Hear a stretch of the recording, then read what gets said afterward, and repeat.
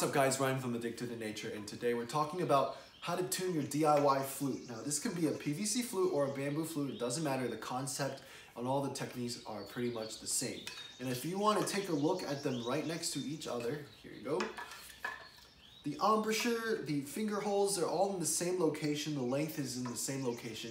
They're both F major scales and in fact this flute is the exact same flute that I made almost three years ago, and I shot a video on that one. It's in the description below, so if you haven't seen it before, go check it out. It's really, really nice. And if you're here from that video, good for you. Let's get to tuning. All right, guys, so the easiest way to summarize it is like this. To make a note higher in pitch, you're going to widen the finger hole. To make a note lower in pitch, you're going to make the finger hole smaller. And that's actually all you need to know to tune a flute you can you can you know talk about a bunch of fancy stuff but the most practical tip is this. You're going to want to change each of these pitches in small increments and you're going to go back and retune everything. You're going to go back and retune it every single time because small increments stop you from making big mistakes. And then another thing is you don't want to tune everything perfectly the first time. You want to leave a little bit of room for adjustment. So you're going to make, the more passes you make, the, the easier it'll be in the long run because you're not going to be making costly mistakes. So let's get into how to tune the flute. So the first thing that we have to do is to warm up the flute. And what that means, we need to get it to a temperature of where it's going to be if you've been playing it for a while. Because the temperature of the flute changes the way this flute vibrates, the way it makes sound. And the fastest way to warm up a flute is to cover all of these holes here and you're gonna put your mouth on the embouchure and you're just gonna blow into the flute as if you're trying to fog up a window, okay? Because if you don't get it to a tuning temperature, all of your notes are gonna be different when the, when the flute cools down to when you're playing it for about five minutes or so. Fastest way is to sort of do the hawing sound that you're trying to fog up a window or so. Here we go. You're gonna cover, here I'm gonna scoot a little bit closer and you're gonna cover this entire, you're gonna cover this entire hole with your mouth. It's gonna look a little bit disgusting, but that's the fastest way to do it. And you haw into it and you're gonna feel the air come out of this side. Here we go.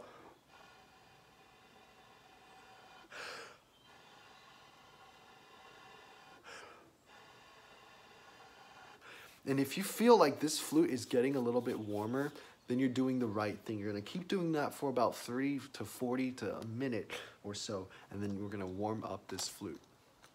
The first thing I wanna talk about is the F major scale. First, right now we have F, and then we have G, and then A, B flat, C, D, and E. What that means is this is the, F is the lowest note. It's what happens when you cover all of these pieces of um, all of these holes. And this is what it sounds like. And then if you have your tuner here with you, you can turn it on. Where is it? There it is. And then you're going to see this note here, the F. Here we go. The F is going to match that first one when I play it. Watch this. Zoom on a little bit. See that F? And then we're going to go to G.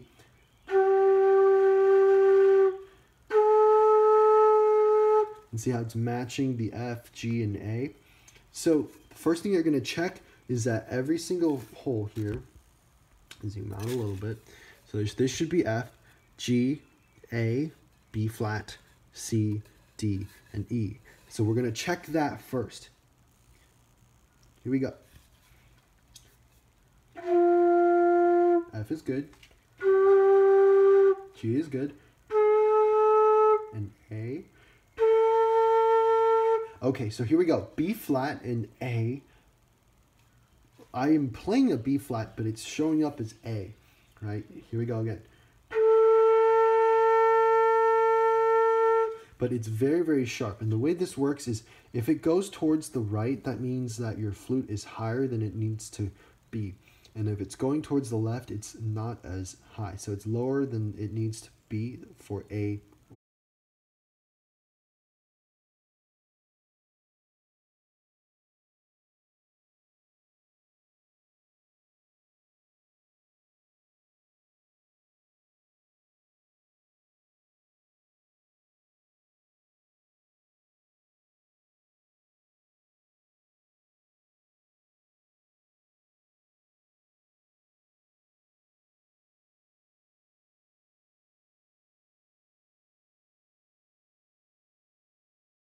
So I'm going to make a note on that. I know my B flat is a problem. And then C, the next one here. C is good. Is good. B, E is good. And that's F. So we're back to F. Now, don't have to worry about left or right where the needle lies as long as that note or that letter is correct for now. Okay, I'm going to go back to white because it's a little bit easier to see. So how do I tune this B flat out? Because it's not as high as it needs to be, this hole is responsible for the F note. If you cover it, it's F, right? And then if you let go of it, it's G. So this hole determines whether it becomes an F or a G. We're always going to think about the higher note here. So technically, and I know I said this hole con controls the F, but technically I'm going to, here, easier to think about it as controlling the G note. And then A would be this note here. B flat is this note here, or this hole here. So this hole that I'm touching right now with my thumb controls that B flat, and it needs to be wider because it's flatter. The wider something is, if you widen, W-I-D-E-N, something, it becomes higher. If you makes a, make a hole smaller, it becomes lower. L-O-W-E-R. That's an easy way for you to tell. How do I widen the hole? Obviously, that's just with a file, and you're just going to go in and you're going to do that. How do I make this hole smaller? The easiest way is to try to avoid this problem. But you can use super glue. I recommend gel super glue to make a hole smaller. You're going to have to wait a couple hours for it to dry, and then you're going to go in, and if it's too small, you can file out the super glue. So obviously it's much easier to widen something than to wait for something to dry, wait for glue to dry. So the easiest way is to avoid all of that problems. Here we go. And that's the B flat, so we're gonna start widening this hole here. You can use a file, and here's a trick. Widening this hole, you're gonna go around, you're gonna try to make it as circular as you can just for um, making it look a little bit prettier. I'm to try to do this. And notice how I'm mainly working on this one side, but I'm going to move to this next side in a second. Here we go. So what happens if the hole's too wide and your fingers can't cover it?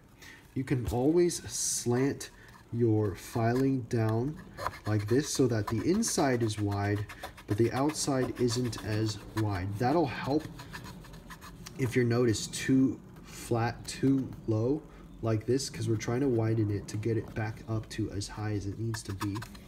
Here we go.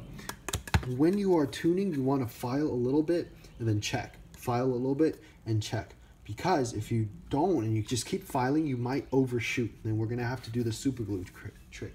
Here we go.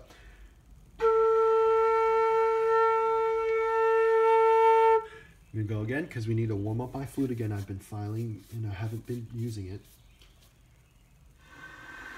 We go.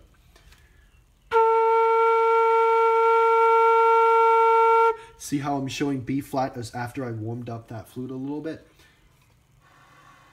that is the reason why because usually when it's higher temperature it's going to be a little bit sharper than it was when it was cold here we go let's try one more time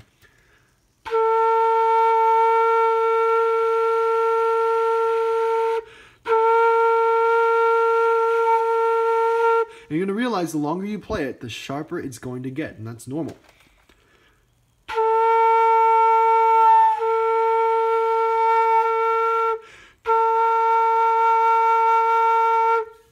So we're almost there. It's sort of alternating between B flat and A. So we're going to keep widening this hole. And since I touched this one hole, that means that everything downstream of this hole is going to also change. So I'm going to, once I get this hole perfect, I'm going to have to redo the other one. So this can obviously take a very, very long time, but don't worry, I'm not going to film that whole process. I'm just going to tell you about how this will work. When you're tuning something, you want to make sure that you're only tuning a couple of segments on this here. We call them cents. That's the unit that we measure uh, tuning things in. But you're going to want to do like 10 to 20.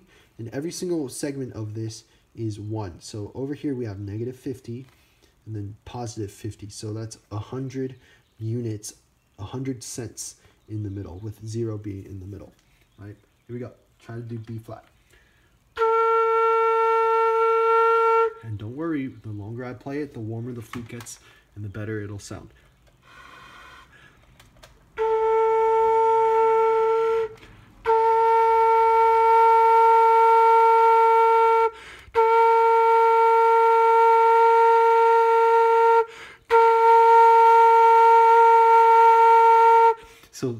Over here, it's really about where it technically will be if I warm up this flute and I play it for a while. I'm going to keep widening this hole and I'll be back when I get this up to the B flat.